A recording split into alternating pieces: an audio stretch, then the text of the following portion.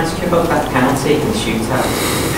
What, what goes through your mind in a penalty like that? What did your teammates and the manager say? And does that just show that your confidence in yourself just as high as been?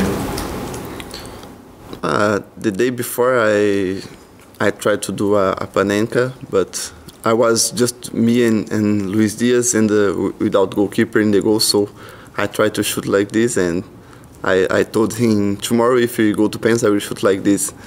He didn't believe me, but uh, when I, I, was walking through to, to, the ball to, to take that penalty, I, I was in my mind that I will uh, shoot a panenka.